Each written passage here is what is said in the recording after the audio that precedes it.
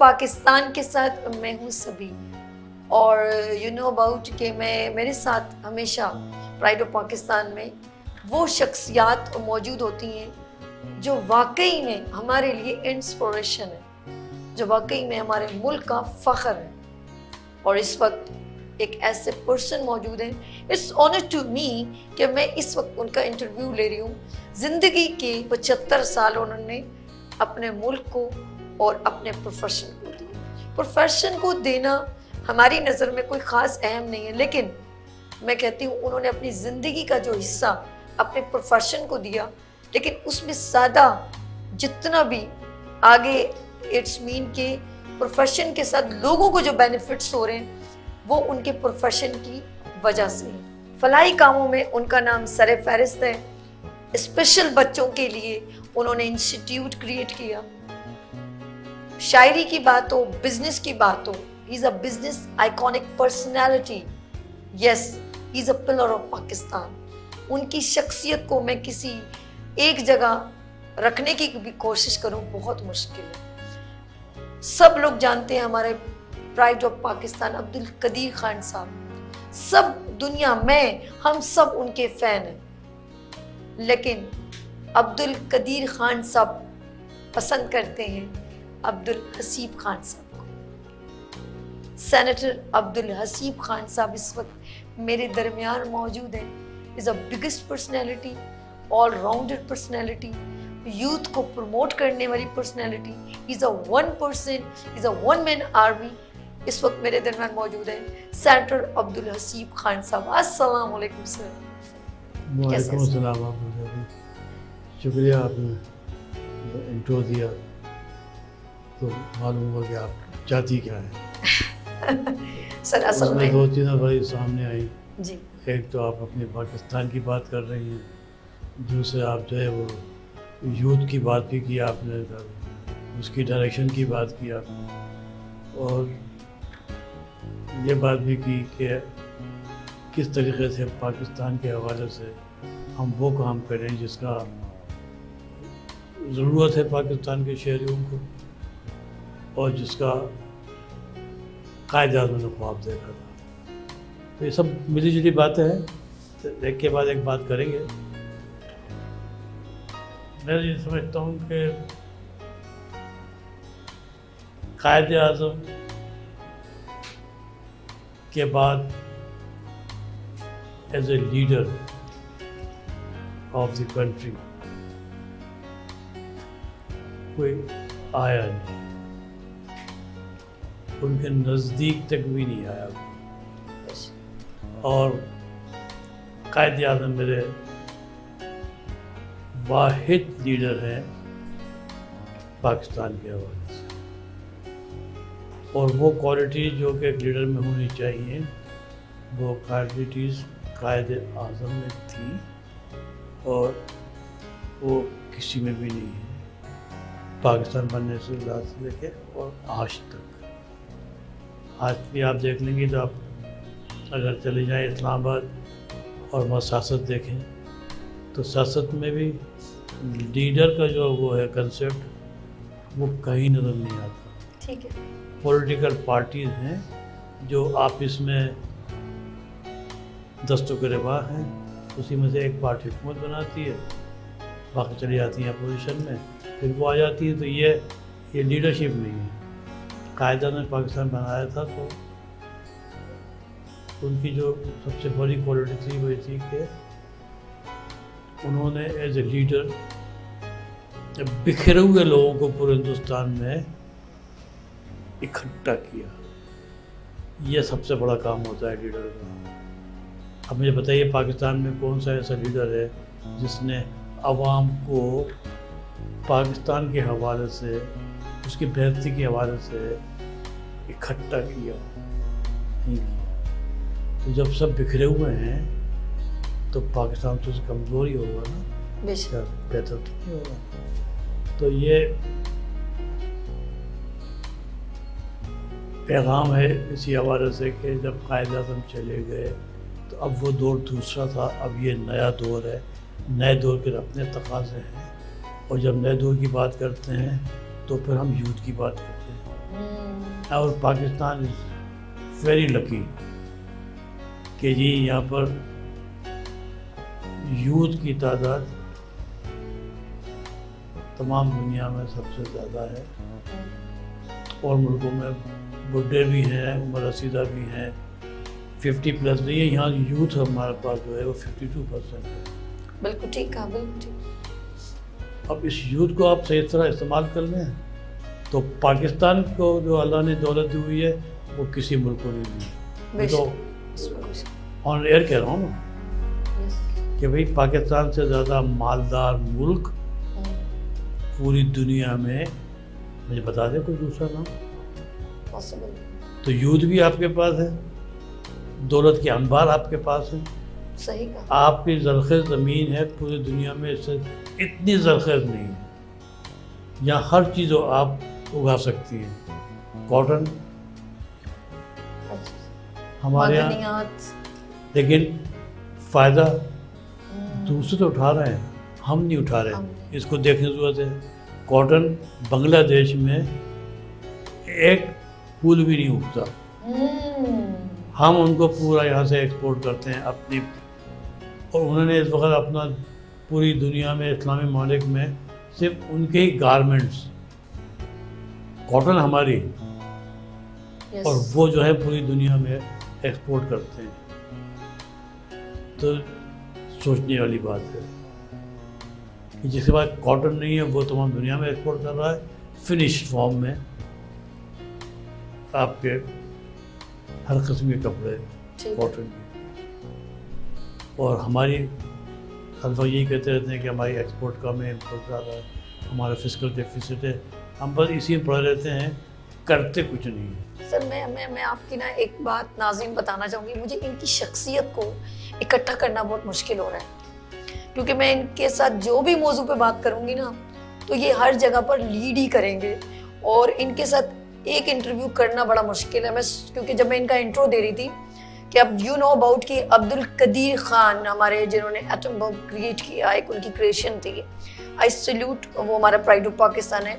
वो सब लोग उनके फ़ैन हैं। और अब्दुल हसीब खान साहब जो है ना, अब्दुल कदीर खान साहब के फ़ैन ये हैं। समझ ले, यूँ करें कि वो इनको बहुत पसंद करते थे। दुनिया उनके फ़ैन है और वो, ये उनको फ़ैन यूँ कहूँगी वो अब्दुल कदीर खान साहब इनको पसंद करते थे, बड़ी बात है। कोई तो बात है। फिर मैं कह रही हूँ उनकी शख्सियत को इकट्ठा करना इतना मुश्किल है कि ये शायरी में मैं बात करूँ तो जौक बुलंद पाएगा। हेल्थ की बात करूँ, आवाम के बारे में सोचने का, सोचने की सोच बुलंद पाएगी। ब्रूक्स बड़ा नाम। फिर मैं यूथ की बात करूँ तो कोई भी ऐसा इवेंट कोई भी ऐसी बच्चों की जस्तजू जो आगे बढ़ने की है तो इन्होंने हर यूथ को बड़ा सपोर्ट किया, हर लिहाज से। उन्हें कहीं पर भी ज़रूरत है, मैं कहूँगी बुलंद पाएगी इनकी सपोर्ट। फिर मैं उन स्पेशल लोगों को जिनको जॉब लेना या बच्चों को स्पेशल लोगों को कोई इतनी ज़्यादा लोग अहमियत नहीं देते, यहाँ तक कि गवर्नमेंट भी नहीं देती तो इन्होंने एक अलग से इदारा बनाया स्पेशल बच्चों के लिए। ये सोच देखें इनकी। इन्होंने स्पेशल बच्चों का इदारा बनाया ताकि वो कभी भी किसी के मोहताज ना रहे। यानी कि इस जहाँ में भी, उस जहाँ में भी इन्होंने दुआएँ ली, फला पाई। और बड़ी बात है सर, बड़ी बात है। मैंने कहा ना, मैं इनके तमाम क्राइटेरिया उनकी शख्सियत को जमा करना, फिर बिज़नेस कम्युनिटी में लेके चले जाऊँ तो? तो इनकी शख्सियत फिर बुलंद पाएगी। पाकिस्तान तो हर जगह पर इनको मुझे अब, अगर मैं फिर मैं पार्टी से रेलिवेंट बात करूँ तो इन्होंने वहाँ पर भी अपना किरदार पॉजिटिव फ्रंट मैन बन के निभाया। फिर मैं ये कहूँगी कि बुलंद पाए का किरदार। तो इनको जमा करना मुझे बड़ा मुश्किल लग रहा है। लेट्स सी मैं I will try my best youth की बात इन्होंने की। पाकिस्तान का सिस्टम ऑफ़ कोर्स जैसे आप, मुझे सेटिस्फाई नज़र नहीं आ रहे आपने कहा देखें बांग्लादेश में हमारे मुल्क में सब नवादरात सब चीज़ें मौजूद हैं। ठीक है? थोड़ा अफसोस होता है यार वो चीज़ हो नहीं पा रही सब चीज़ें मौजूद होने का ये मतलब नहीं है कि कि आप जो है कोई दुनिया में एक अलग मुकाम रखे होते हैं। बात ये होती है कि आप उसको कितना इस्तेमाल कर रहे हैं और कितना आप ज़ाय कर रहे हैं। जी। तो यूथ की बात मैंने भी इतनी की थी कि अब यूथ हमारी जो है वो नेक्स्ट हमारी जो होप है पाकिस्तान की वो यूथ ही है। बिल्कुल बिल्कुल। और मैं यूथ के हवाले से मेरे ख्याल में शायद ही कोई यूनिवर्सिटी बाकी हो जहाँ मैं नहीं जाता हूँ। और बच्चों को फाइनल ईयर के स्टूडेंट्स को मैं उन्हें बताता हूँ कि अब जब हमारी दुनिया में आएँगे प्रैक्टिकल लाइफ में आएँगे यस तो फिर उन्हें क्या करना है? या नौकरी की लाइन में लगना है या इंटरप्योर बनना है? तो इंटरप्योर बनने के लिए मैं पैगाम दे रहा हूँ आपके तवज्जो से अपने तमाम यूथ को कि हर शख्स में ये सलाहियत होती है कि वो इंटरप्रेन्योर बने सिर्फ़ नौकरी नहीं होती। हम्म, और इंटरप्रेन्योर बनने के लिए कोई आपको बहुत सरमाए की ज़रूरत नहीं है। Good to me an entrepreneur starts from nothing good ज़बरदस्त। तो नथिंग का मतलब ये होता है कि कुछ नहीं पैसे नहीं है। हम्म, नहीं। दिमाग है स्किल्स सोच है। ठीक है। काम करने की सलाहियत है। यस तो फिर आपको जो है वो एवेन्यू तलाश करने होते हैं जहाँ पर कि आप अपना कोई काम करें। और अगर आपने कोई आला तालीम हासिल की है इंस्टीट्यूशन डेवलपमेंट की है उस तरह आप नौकरी करें। लेकिन खाली निकल के यूनिवर्सिटी से और सिर्फ़ नौकरी की तरफ़ भागना ये नहीं यूथ को सोचना चाहिए कि वो अपनी उन क्वालिटीज़ को जो छेड़ी क्वालिटीज़ है उनको निकाल के जो है वो एक इंटरप्रेन्योर बने। पाकिस्तान को इंटरप्रेन्योर चाहिए। ज़मीन के अंदर आपके ज़रूरत के अंबार हैं उनको निकाल के उनको प्रोसेस करना ये सब चीज़ें इंटरप्रेन्योरशिप में आती हैं। ठीक है। तो हुकूमत को भी जो है वो आपकी टीवी तवज्जो से मैं ये पैगाम दूँगा यस कि सियासतदानों को भी चाहिए कि कम अज़ कम पाकिस्तान में सियासत करें। एक शोबा जो है वो उसको अलग कर दें जिसका ताल्लुक सियासत से नहीं हो। वो है पाकिस्तान की मीशत। सही। हुकूमत कौन सी है? कौन सी जा रही है? कौन सी आएगी? इलेक्शन कब होंगे?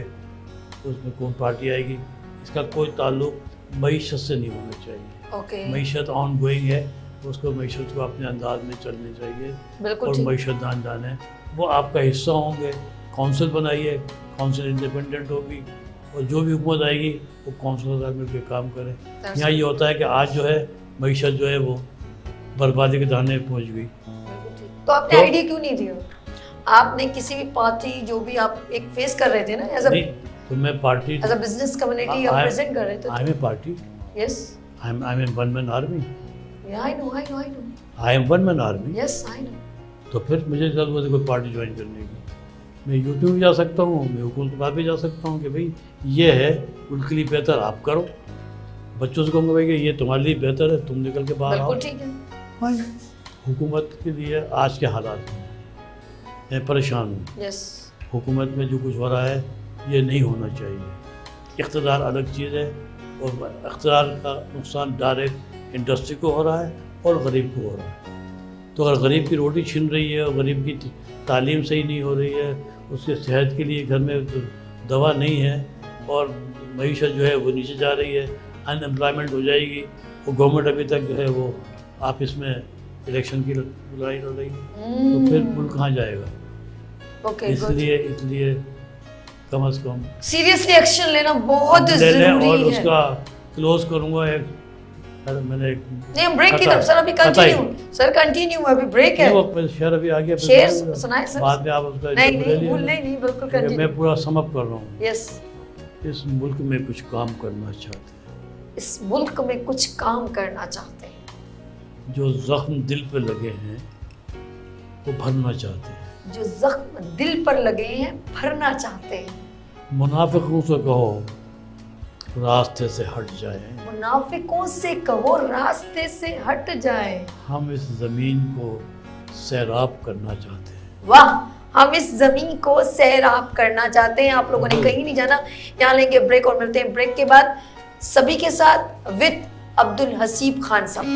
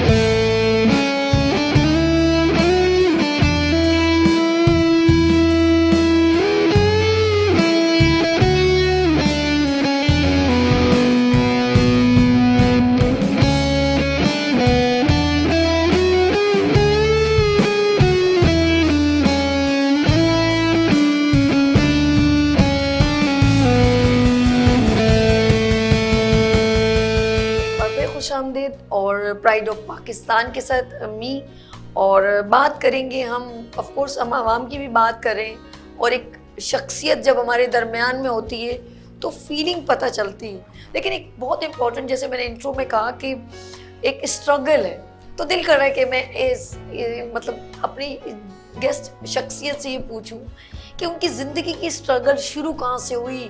क्या इरादे थे? कहाँ तक जाना था क्या सोचा था क्या वो वहाँ तक पहुँच गए? लेट्स सी मैं again of course warm welcome करती हूँ सेंटर अब्दुल हसीब खान साहब से। जी सर जी। स्ट्रगल शुरू हुई स्टडी शुरू हुई। एक रूम से आप छोटे से रूम से आपकी एक माँ बाप बहन भाई सब चलते रहे। क्या था मुझे थोड़ा सा बताएँ ना सर जी। पता तो चले लोगों को कि एक बंदा कहाँ तक कैसे पहुँचा है। जो चीज़ यूथ को मालूम होनी चाहिए वही होनी चाहिए। यस सर कि जी एक तालीम है। यस और तालीम भी वो जो कि आज के दौर की ठीक है तालीम ज़रूरी हमने अपने दौर में तख्ती लिखी है। अब तख्ती का तस्वुर नहीं है। ठीक है। हम बाकायदा चाक लगा के उसको सुखाते थे। कलम के दाग से निशान बना के लिखते थे। अब वो दौर तो नहीं है अब तो दूर कंप्यूटर का है। तो आज के दौर का बच्चा मुझसे ज़्यादा जहीन भी है। और हम्म, मुझसे ज़्यादा उसके बाद तमाम चीज़ें अवेलेबल भी हैं। ठीक है। वो सहूलतें नहीं थी कहना तो इसको इस्तेमाल करो। ठीक है। और मैंने पहले कहा था कि माइंड की जो पावर है वो अनलिमिटेड है।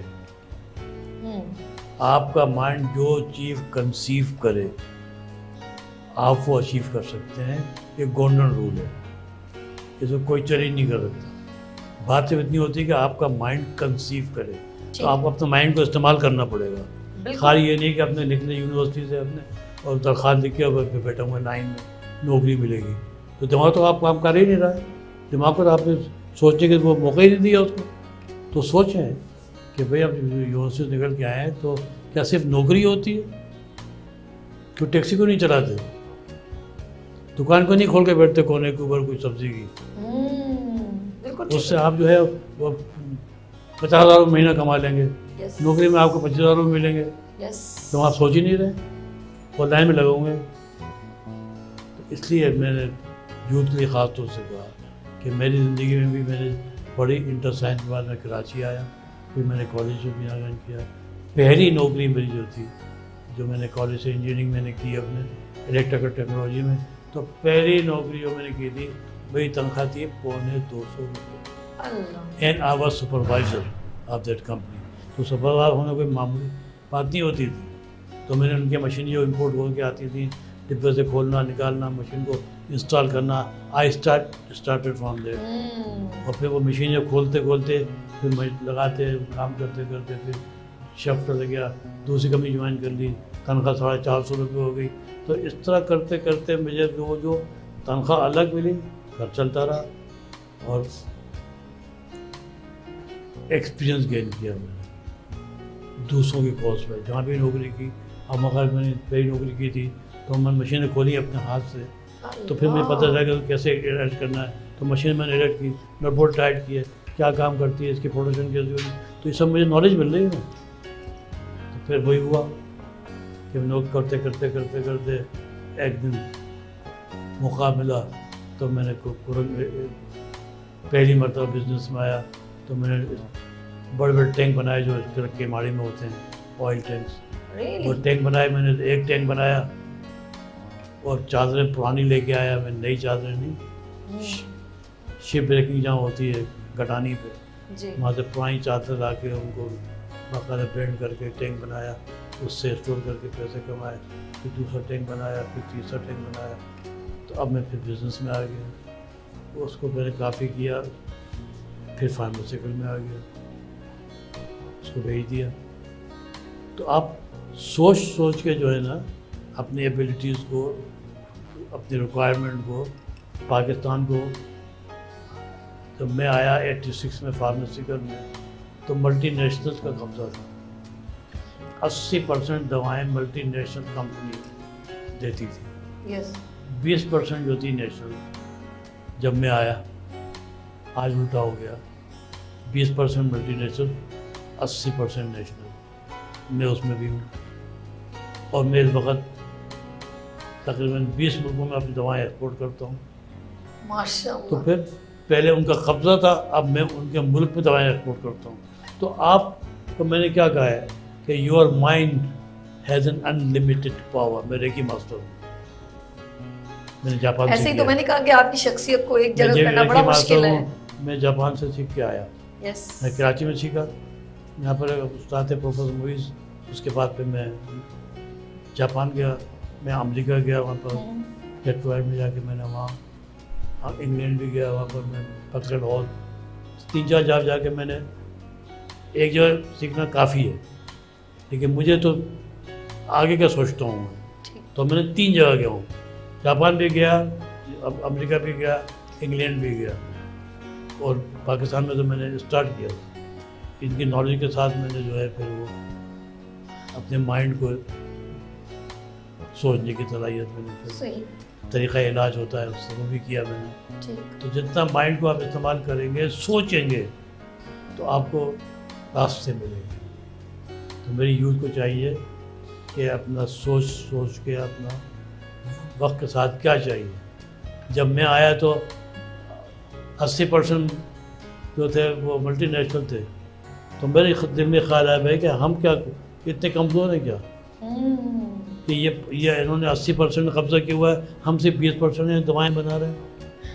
मैं उस भीड़ में घुसा, सोच समझ के घुसा और अलहमदिल्ला अब वो रिवर्स हो गया रेशो। बीस का अस्सी हो गया जैसे मैंने कहा।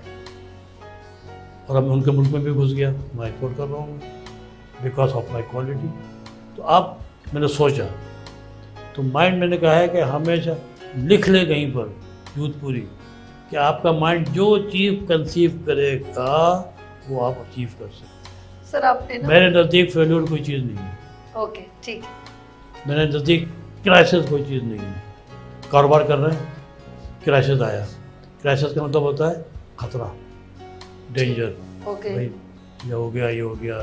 डॉलर नीचे चला गया डॉलर ऊपर चला गया। पता नहीं क्या क्या हो गया। तो डेंजर नहीं हुए डेंजर है। ठीक। लेकिन मैं जो समझता हूँ इस स्टेज के ऊपर danger has two components yes one कि जी खतरा है। Okay okay. और दूसरा इसमें छुपा हुआ होता है अपॉर्चुनिटी ओके okay. आपको एक प्रॉब्लम आई है लेकिन प्रॉब्लम का ये मतलब नहीं है कि बस बस ख़त्म हो गया हर चीज़। उस प्रॉब्लम के अंदर ही अपॉर्चुनिटी भी छुपी हुई है। Okay try to find out that opportunity उसको निकाल ले। उस पर काम करें। इसको काम करेंगे ये मज़बूत होगी। तो वो जो डेंजर और इश्यूज़ है वो ख़त्म हो जाएगा। और ये ये नई दुनिया बन गई। वो क्या हुआ कि आपने अपने इसको इस्तेमाल करिए हम माइंड को यूज़ नहीं करते। हम माइंड को मिस यूज़ करते हैं। ओके तो यूथ को चाहिए कि अपने माइंड को मिस यूज़ नहीं करें। पॉजिटिव कंस्ट्रक्टिव वे में अच्छा सर आपका फोकस बार बार सोच सोच सोच एंड द क्रिएट ऑफ़ सोच एंड क्रिएशन और मैं यही कहूँगी इन्हीं की बात मुझे लग रहा है कि of course relevant to Allama Iqbal ने सोचा और पाकिस्तान बन गया। दर्शक को इसे एंडोज कर सकते हैं हम कि बार बार ऑफ़ कोर्स अब्दुल हसीब साहब कह रहे हैं कि सोच क्रिएट करती है क्रिएशन को। क्रिएटिविटी प्रेजेंट करती है। कुछ आप सोचोगे तो क्रिएट होगा ना। बिल्कुल जब सोचेगा तो क्रिएशन होगा ना। अच्छा क्रिएशन किया आपने आपके साथ एक स्ट्रगल चलती रही आप नई नई चीज़ों को जिद्दत बख्शते रहे और वो क्रिएट हो गई। जो आपने सोचा वो क्रिएट हो गई।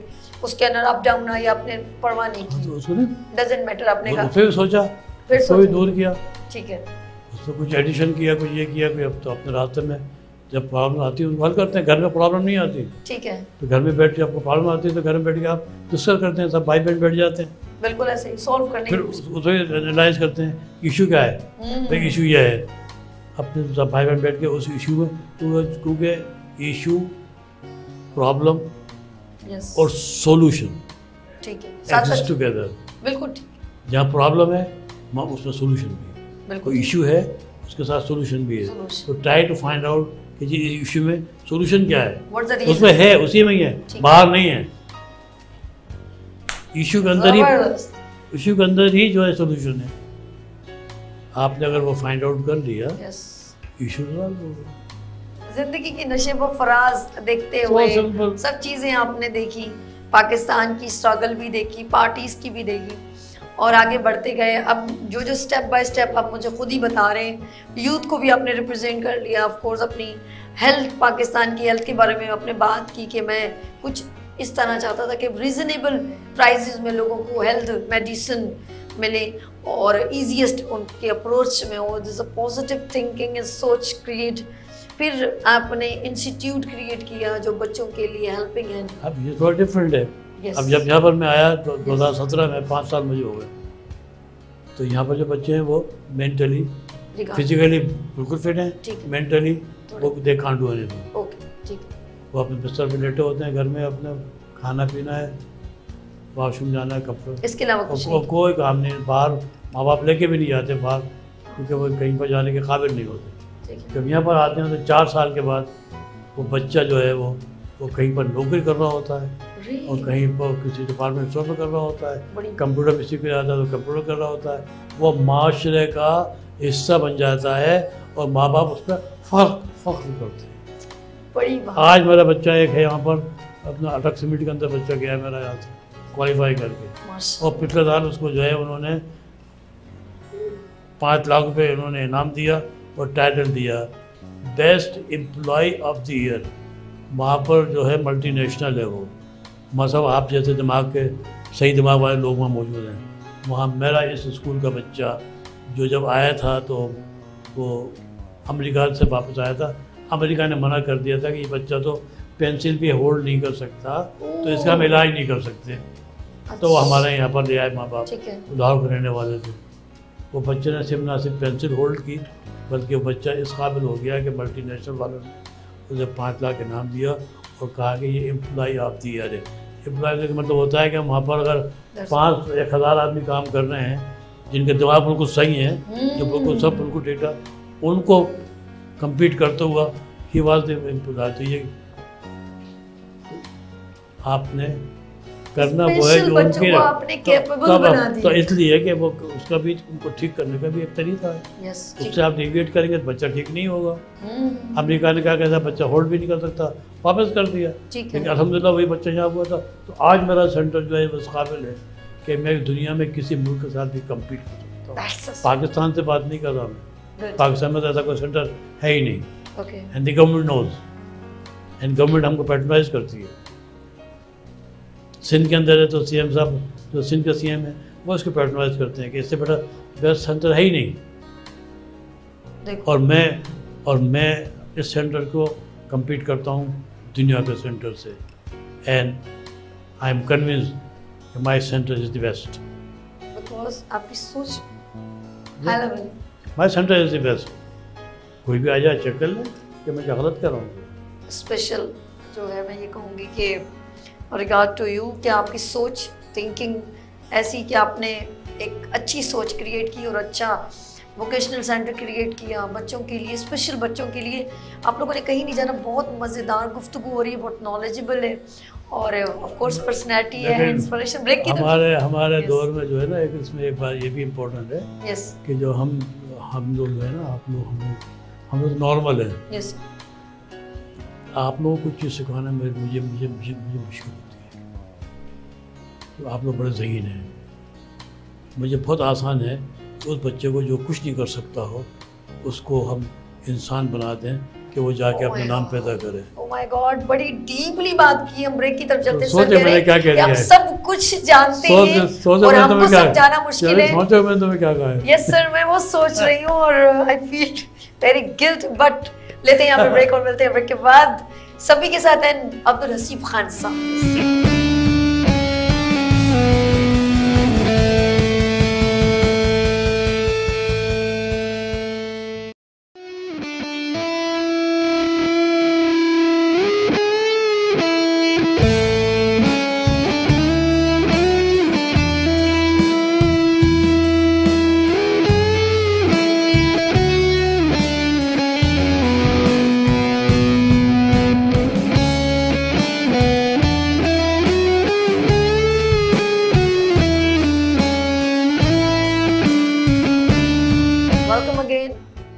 पाकिस्तान के साथ मैं हूँ सभी और मेरे साथ एक allrounder and one man army yes Abdul Haseeb Khan साहब सेनेटर अब्दुल हसीब खान साहब मौजूद हैं।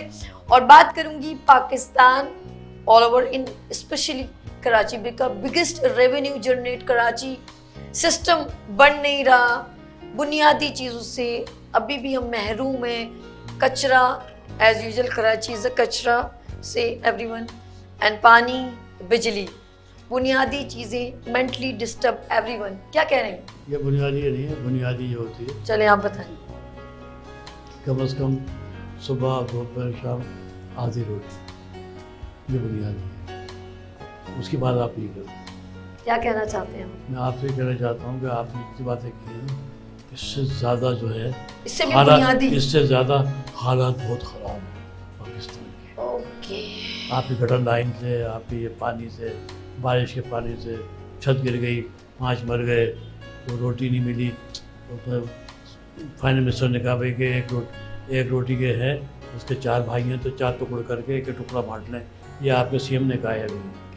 अभी जो करंट जो आपका फाइनेंस मिनिस्टर है उसने कहा है आप तो टीवी की हैं। सर आपने पढ़ा होगा। यस कि एक रोटी के चार टुकड़े करके चार भाई बांट और चाय ये भी ये बोला हालत चाय भी दो कप नहीं और मैं कप अब मैं एक बात वो कर रहा हूँ चैलेंज कर रहा हूँ पूरी पाकिस्तान की हर गवर्नमेंट को और पाकिस्तान के हर सियासतदान को मैं चैलेंज कर रहा हूँ।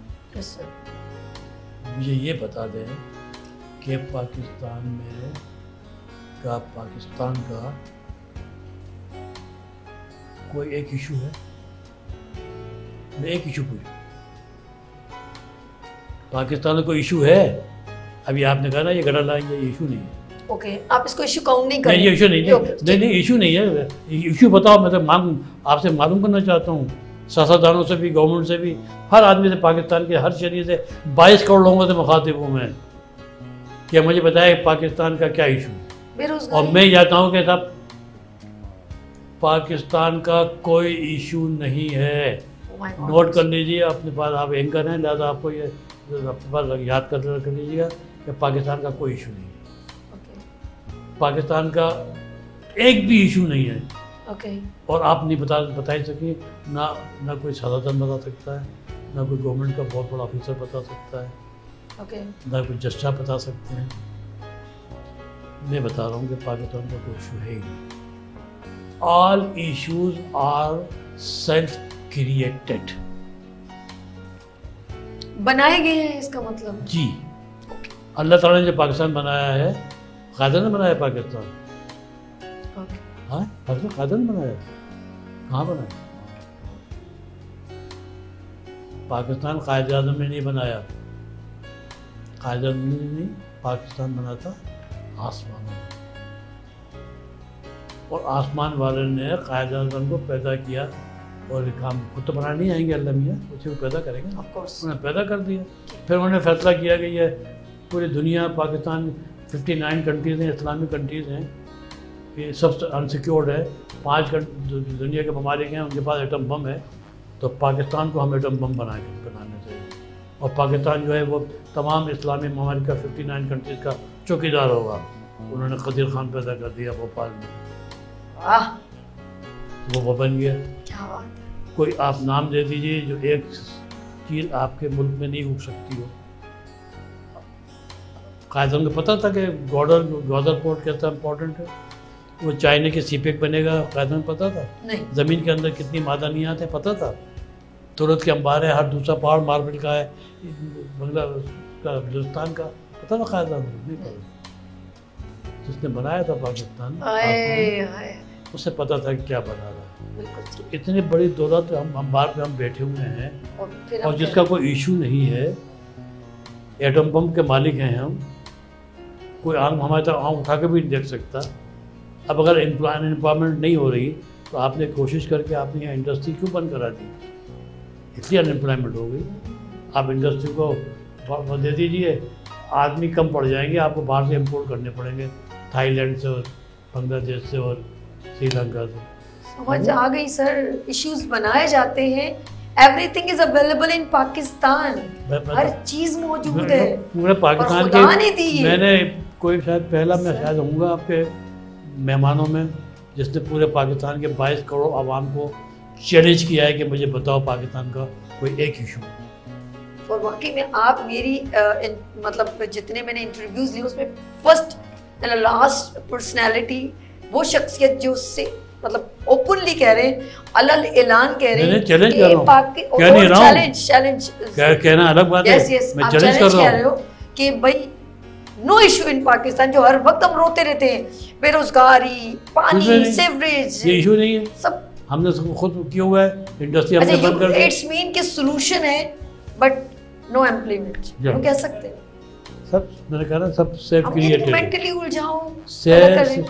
सेल्फ क्रिएट का मतलब होता है कि हमने उस पर या तो काम नहीं किया या हमने काम किया तो वो अंदाज सही नहीं था। ओके या हमने अगर यहाँ पर ते, तेल निकल आया तो हमने तेल नहीं निकाला। यहाँ तेल है आप खुदाई वहाँ कर रहे हैं। अरे भाई चेक तो कर लोगे कि वहाँ वहाँ तेल नहीं है भाई तेल तो यहाँ है। या खुदाई करो ना। वहाँ करोगे तो वहाँ तेल तो नहीं निकलेगा। जैसे कैसा कसूर है। अल्लाह मैंने तेल दे दिया है पाकिस्तान में। लेकिन यहाँ दिया है। खुदाई करे। और आप खुदा कर रही है। शबी ऐसा तो नहीं होगा ना। सोना सोना यहाँ दिया हुआ है। आप वहाँ तलाश कर। रहे हैं दिया कराची में आप जा रहे हैं पिशावर। दिया पिशावर में आप कह रहे हैं हैदराबाद में। चले चले आपने चैलेंज कर दिया ना सर सर कर दिया ना आपने सुने। अब मैं कह रहे मेरा you have any solution approach करें तो हम तो मेरे पास भेज दीजिएगा। मुझसे सवाल कर लें मुझे उठा के ले जाए। नहीं सॉल्यूशन क्या आपने इल्ज़ाम लगा दिया हमके ऊपर? सोल्यूशन चाहे इंसान बन जाए। ओके इंसान बन जाए। ओके ह्यूमन बीइंग नहीं। ये सही। ह्यूमन बन जाए। और ह्यूमन में और ह्यूमन बीइंग में बड़ा फ़र्क ज़मीन और आसमान का फ़र्क है। बात हो रही है ऑफ़ कोर्स पाकिस्तान से अवाम की बात कर रहे हैं क्योंकि इनकी स्ट्रगल में अप डाउन हुए और इनकी बर्दाश्त मैंने देखा उबुल वतनी जिसे कहते हैं ना वो उमंड के सामने आई है तो वो एकदम एक इनके अंदर बिल्कुल एक डिफरेंट मुझे एक चेहरा नज़र आया है। वो तकलीफ़ का चेहरा नज़र आया है। ये मोहब्बत का चेहरा नज़र आया वो पाकिस्तान को इस विजन से नहीं देखना चाह रहे जो उनको नज़र आना चाहिए। दुख होता है उनको क्योंकि जिन्होंने बनते देखा टूटते देखा क्रिएट होते देखा तो उनको दुख होता है अंदर से। और बहुत मोहब्बत करते हैं। तो तुमने इसलिए होता ना जी सर मैंने आपसे कह दिया पाकिस्तान बना आसमानों में तो अल्लाह ने सब कुछ दे दिया। बनाया कायद आज़म ने आटम बम बनाया खदीर ख़ान ने। आपका जो है वो इज़्ज़त के साथ रहने की सब कुछ है। और आप जो है वो आई एम एफ़ आपको कर्जा नहीं दे तो आपके घर के चूल्हे ठंडे हो जाते हैं। बिल्कुल। भीख मांगने की क्या आपको आदत पड़ी है? हाथ फैलाए घूमते रहो। अल्लाह ने बनाया है मुल्क दूसरों को कर्जा देने के लिए मदद करने के लिए। आप जो है वो खुद दूसरों के मुझसे मदद मांग रहे हैं। अल्लाह के बाद तो खुद बच्चे भूखे हैं हमारे। ज़मीन जरखेज आपकी है और आप अपने चावल इम्पोर्ट कर रहे हो। किसने रोका है कि चावल? अपने खेत में उगा लो और पानी की जब बरने में बरसाते हैं, रहमत, उस पानी को इकट्ठा कर लो, कैनाल बना लो, डैम बना लो, पानी पानी है, बारिश ख़त्म हुई पूरा बजाय इसके सैलाब आ जाए घर डूब जाए उस पानी को कहीं इकट्ठा कर लो कैनाल डैम। बना लो। कैना डैम बनाए कैनाल बनाए और बारिश ख़त्म हो जाए फिर अपना दस महीने के अंदर उसमें चावल उगाएँ चावल गेहूँ उगाएँ गन्ना उगाएँ सब्ज़ी उगाएँ फल उगाएँ। जैसे आपके आम होते हैं दुनिया में कहीं नहीं होते। वहाँ पर रखे होते हैं शोकेस में। हम्म, टैग लगा होता है तीन पाउंड का एक मेरे यहाँ आम जो है वो शौक में बैठा हुआ है, फुटपाथ के ऊपर ढेर लगाए हुआ। सौ रुपये किलो। वहाँ रखा हुआ है पाँच पाउंड का एक केक, एक आम बटोर तो वाह। आपकी बातों का मैंने एक निचोड़ निकाला है कि पाकिस्तान में कोई इश्यू नहीं है, अल्लाह ऐलान कहते हैं। फिर कहते हैं कि हम अल्लाह को मानते हैं, लेकिन अल्लाह की बिल्कुल नहीं मानते। इनकी बातों में जो एक सामने एक प्रेजेंट हुआ। स्ट्रगल ऑफ़ कोर्स सीखते सीखते बहुत कुछ इन्होंने क्रिएट किया बहुत प्रेजेंट किया लोगों के लिए फलाई काम किए दिल मुतमईन है उनका। मैं इसका एक सबसे आसान तरीका Yes, बता दूँ मैं आपको कि मैं ये बात क्यों कह रहा हूँ कि भाई हर आदमी अपना ये तजिया कर ले। ऑफ़ कोर्स अगर अल्लाह को मानता है तो अगर अल्लाह की मानता है तो फिर उसके साथ अमल होगा। तो जो अल्लाह ने कहा है तो उसका अमल भी वैसे होगा। इसका मतलब है कि वो अल्लाह का बंदा है। अगर अमल वो नहीं कर रहा, किसी को धोखा दे रहा है, किसी से झूठ बोल रहा है, किसी का पेट फाड़ कर रोटी निकाल ली, किसी को तकलीफ़ पहुँचा दी, किसी को ये सब तो ये तो ये तो अल्लाह का बंदा नहीं हुआ ना भाई। इसलिए मैं कहता हूँ कि जी, मुसलमान हैं ईमान रासिम हो। अगर अल्लाह को मानते हो तो अल्लाह को मानने के बाद ईमान का जो पहला जो स्टेप है वो ये है कि आपने ज़बान से इकरार कर लिया अल्लाह में अमल आपको वो करना होगा कि जो कि अल्लाह ताला ने आपको कुरान में बता दिया। बेशक। अच्छा। वो ज़िंदगी जो पैगंबर सल्लल्लाहु अलैहि वसल्लम की है ज़िंदगी आपके सामने है। जैसा वो करते थे वो आप कर लीजिए। तो वो आप आदमी ईमान वाला भी है वो अल्लाह का बंदा भी है। बात ही खत्म हो गई। अच्छा ऑफ़ कोर्स ये तो स्ट्रगल है। दोस्ती भी रखी होगी। खास खास दोस्तों में कौन शामिल? है दोस्ती भी आपकी होती होगी जवानी में भी अभी भी।